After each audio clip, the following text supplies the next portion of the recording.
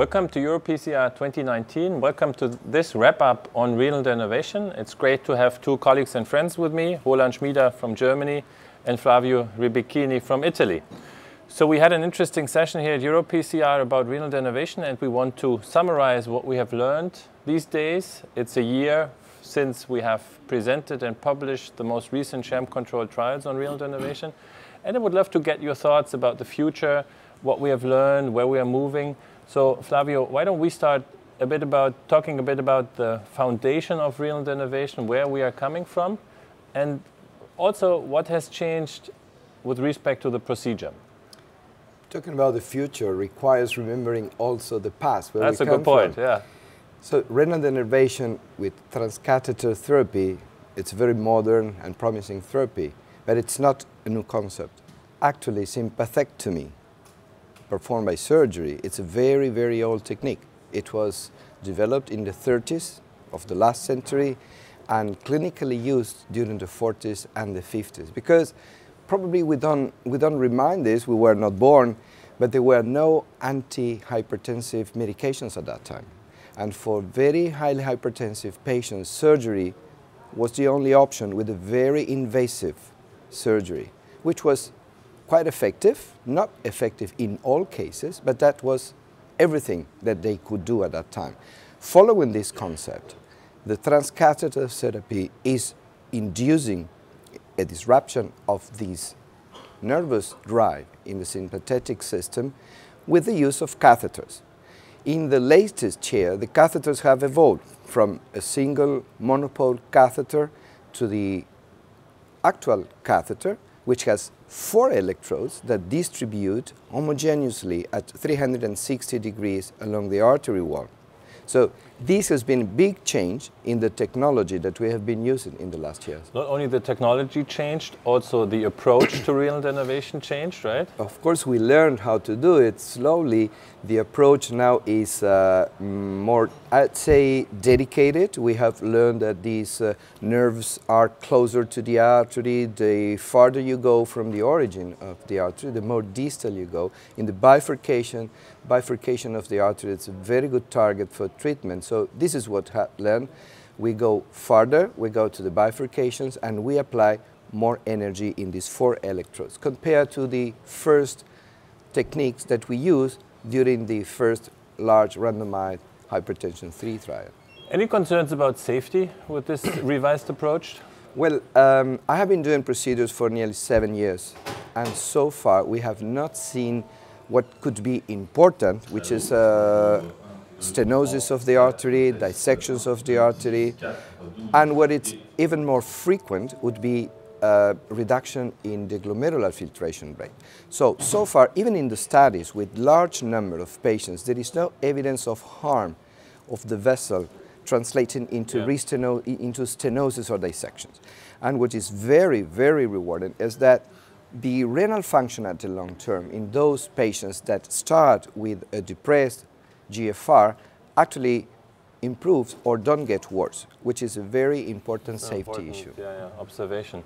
We had a presentation here at EuroPCR about the Global Symplicity Registry, which is indeed the largest real-world database that is available, almost 3,000 patients included, follow-up to three years, no vascular safety events that popped up in this registry, no renal function events that were, you know, concerning. And we have documented blood pressure following of these patients treated in the registry in different subgroups, diabetics, elderly patients, patients with resistant, so-called resistant hypertension. So I guess that was an important observation.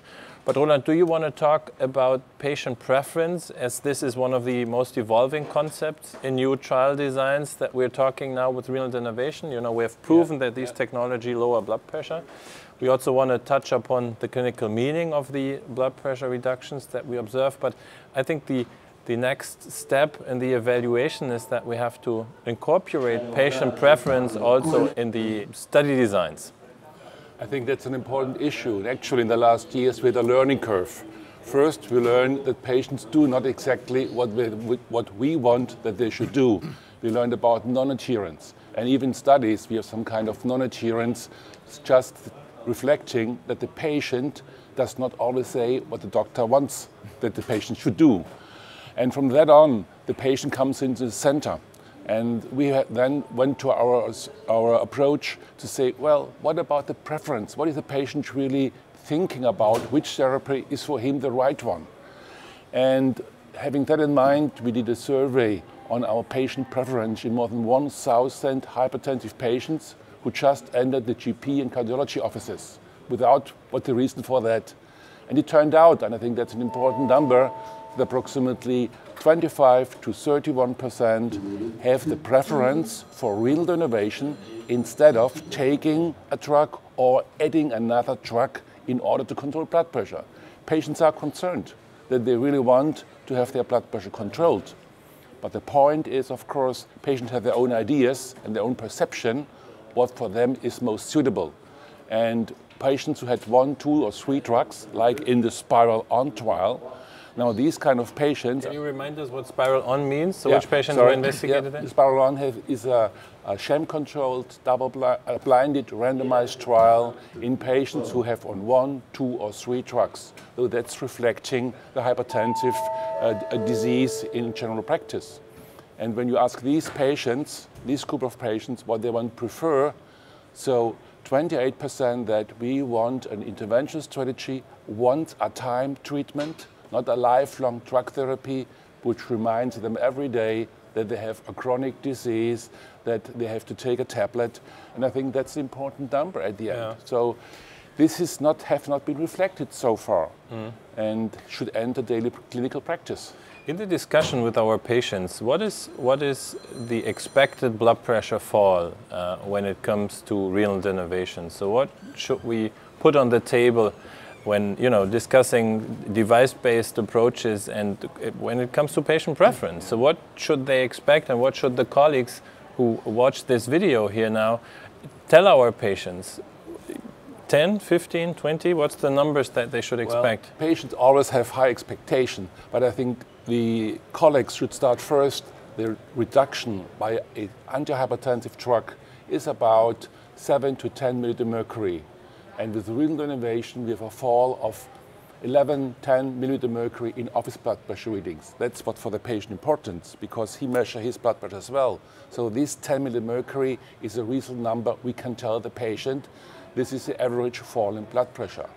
And it is equivalent to 1 to 1.5 antihypertensive drug effect. And that, I think, is uh, good information for the patient that he has come to an own decision whether he wants interventional techniques or whether he wants to have an additional drug. But this is the future. We are just on that track. Yeah. Few words about the future. So what's next then? Well, uh, I think a good starting point could be patient education. Mm -hmm. Because patient comes with expectations saying, I mean, I need to lower my blood pressure, but I, it's not clear for them what does this mean. A reduction of, of 10 millimeters of mercury, which may, be, may see something easy to obtain or, or irrelevant, reduces the risk of stroke, death and infarction by a, a, huge number of percentage. So it is very important that patients become aware of the need of controlling these 10 millimeters of mercury, 5 millimeters of mercury even have a tremendous impact in survival. This is the first point. Second point is that, as Roland said, many patients don't do what we ask them to do, which is not only taking pills, it is good diet, exercise, style of living, moving. And all these explain why it's so difficult to reduce blood pressure because it's really a complex mm, process multifactorial. with multifactorial. We will act on one of these factors effectively and we will help the patient to control blood pressure. But they still need to take drugs. This is something that should be clear. Hypertension is a medical mm. treatment. Antihypertensive treatment requires pills. The fact is that many times people don't like to take pills, especially young people. Think people of our age, taking a pill in the morning, one in the afternoon, one at midday, one before going to the gym, one during you are in the work. Diuretics are socially hard to accept. And so why not combining the two things? Taking a pill in the morning and one when you go to bed, and during the day you have a well-controlled blood pressure thanks to a single procedure. Invasive, yeah. invasive procedure. We are not scared of that. This is our job. But offering the patient the certainty Mm. that his blood pressure will be controlled. Coming back to the first point, reducing the risk of having stroke, infarction, and sudden death. Good points. Yeah. Roland, patient selection in future studies, where are we going to and how do these studies look like and when can we expect the results? Well, the results, I think next year we have more results, and hopefully we can also maybe predict which ITA patients respond best. Yeah. This has nothing to do with preference, but I think if we can tell you you have maybe even 50 meter mercury decrease, I think this is something really which for the patient is important, as just has been elucidated. I think we also should go for a acceptance of the lower blood pressure goals. And if you go to 130 over 80 and below, as now recommended by US, by European, by all national guidelines, we need all tools we have to, con- to get to blood pressure control. This means not only just lifestyle changes, going to gym and so on, or applying single fixed combinations with drug therapy. Combination. We need a mm. third pillar. Mm. And I think this really will, the establishment of interventional therapy and renal denervation is the most advanced technology in that field as a third pillar of treating our patients. And then also the patient may choose in the first stages, meaning uncontrolled hypertension, that what his, his preference, what would he like to choose. And for example, and one thing we should do not forget, patients who are intolerant to drugs, they have a relief if we can offer them a new technology. And patients who really are afraid of taking drugs, there's always some rumors about that certain drugs may, may induce cancer or so. This is something they are That's afraid of, difficult and we have yeah. then a new option. And I think this is really the, for the future, which we have most likely next year when we have the new, let's say, generation two randomized sham controlled trials. studies. The pivotal studies. Right. So- Thank you. More patients to Yeah. come, more science to be completed. Yeah. Gentlemen, that was a great discussion. Thank you very much. Uh, we learned about the foundation of renal denervation, the procedure, how it has evolved, how we changed the technique and the technology. I learned uh, a lot about the patient preference issue here at PCR, how important it becomes that we involve patient in decision making, not only when it comes to interventions, but also when it comes to treatment of hypertension. And we're looking into the future with further evaluations uh, of renal denervation. So stay tuned. Great having you. Thank you very much. Thank you, Felix.